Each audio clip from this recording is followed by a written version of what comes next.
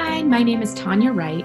I am an associate professor of language and literacy in the College of Education at Michigan State University.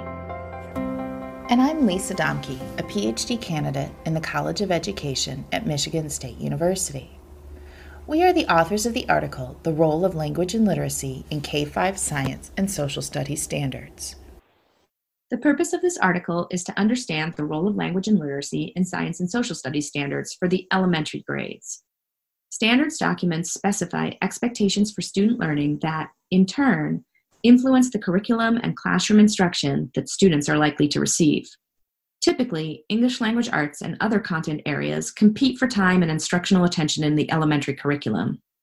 But we were interested in whether new content area standards aligned with theories and empirical evidence that language and literacy are integral for disciplinary learning and engagement beginning in the elementary grades. This is because spoken and written language are critical for learning and communicating ideas, but also because children will need to be apprenticed into disciplinary literacies or the ways of communicating in oral and written language that may be particular to specific disciplines. So we engaged in a content analysis to understand the messages about language and, and literacy learning for elementary students that are instantiated in new science and social studies standards documents.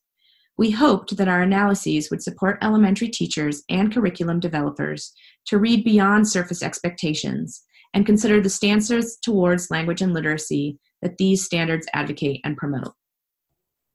We analyzed both the Next Generation Science Standards and the C3 Framework for Social Studies framework documents, describing the theory and research that the standards are based upon, as well as the statements that specify expectations for student learning.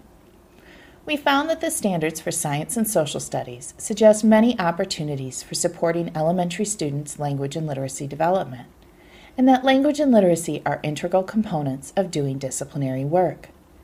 Standards documents view disciplinary learning as reinforcing, but also extending the ELA standards in the Common Core, with an emphasis on discipline specific language and literacy practices. For example, student expectations in science and social studies focus on communicating ideas through oral and written language, reading, writing, and using discipline specific texts, as well as explaining, arguing, discussing, asking, and describing. However, each discipline enacts these differently, and these differences were clear in framework documents, but not always in learning expectations for students. For example, the frameworks explain what it means to make an argument or ask a question in science compared to in the social studies. And this has implications for teachers, curriculum developers, and teacher educators. While these standards clearly suggest opportunities to support students' language and literacy development during science and social studies, enacting the vision of these standards will likely require substantial instructional change in many elementary classrooms. So teachers will likely need professional development to capitalize on these opportunities for supporting disciplinary literacy in the elementary years.